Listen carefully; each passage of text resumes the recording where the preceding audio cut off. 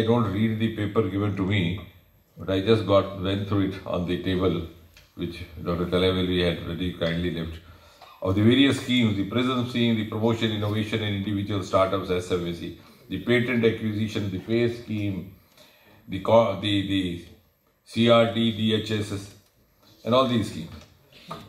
And of course, the women for women access to knowledge for technology development dissemination.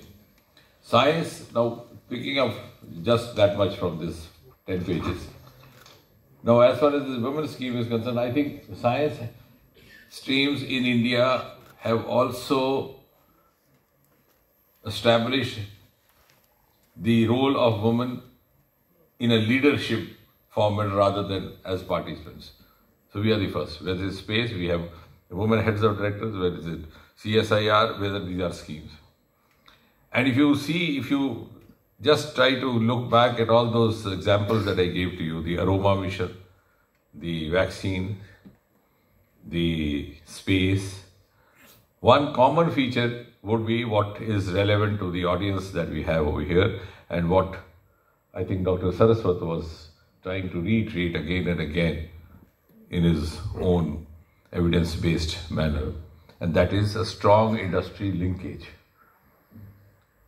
And that also indicates what I have been saying for the last two years, and I was kept asking myself whether I was going overboard as speaking more than I'm expected to, because mostly the chief guest of the minister is expected to light the lamp and say goody, goody, goody, and get off and not try to be, you know, distributing what he thinks about. But you realize the aroma mission succeeded because from day one, they were not only doing hand holding, but they had already linked up with the perfume industry. Dr. Rama Vishwakarma began that initiative and it carried on. And the result was that even before that product was in hand, it was selling, you know, like hotcakes. And it became infectiously, you know, went around along among the peers, and we have uh, 3,000 of those startups just within a few years, two years or three years. Now, if you have the DNA vaccine, it's because the industry was already waiting for you to come out with the vaccine. So you didn't have to look for it. It's just that we happened to be the first and we were the early bird beneficiaries. Similarly, if you look at space, when Chandrayaan happened, Prime Minister Modi had already liberated the space sector from all those taboos. And the result was that there was a huge investment happening.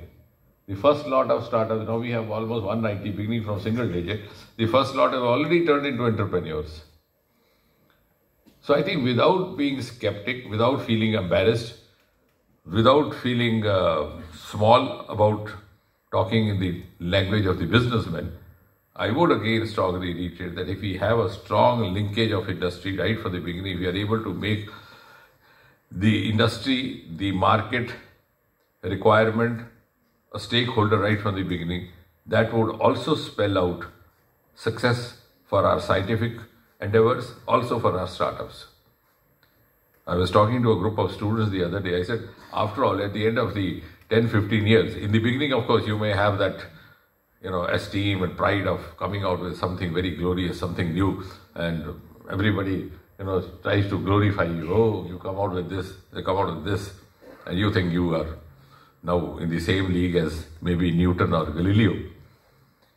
But after 15 years, when you find one of your high school classmates driving down in that big, big car, I don't even know the names, and you still trying to pretend that you are a Galileo or a Newton, you will say, hell to me, all this.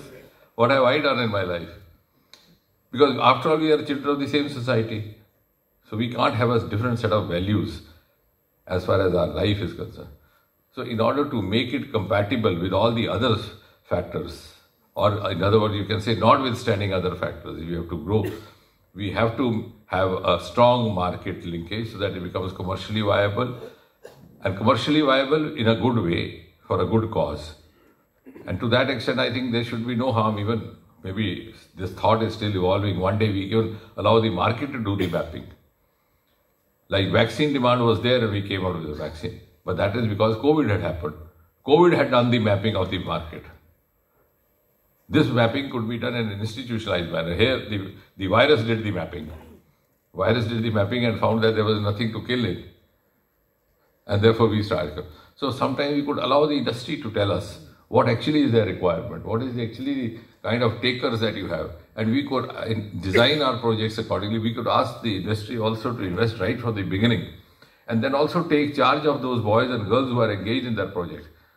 So that at the end of the project, they don't find themselves out of job. And certainly if industry would have invested in the terms of money, they would try to own them. You would feel that if I spend so much, let, let me not let go of this boy or a girl, let me extract my pound of flesh or flesh of pound, whichever way. So I think while we observe, because the relevance of saying this today on this platform is that the Department of Science, Industrial Research, DSIR, is actually expected to translate design, formulate, create policies, and create strategies which would help us achieve this effective translation, which would be of benefit to the common people. At the same time, also raise our capacities to invest in further projects. So I think with that, thank you very much.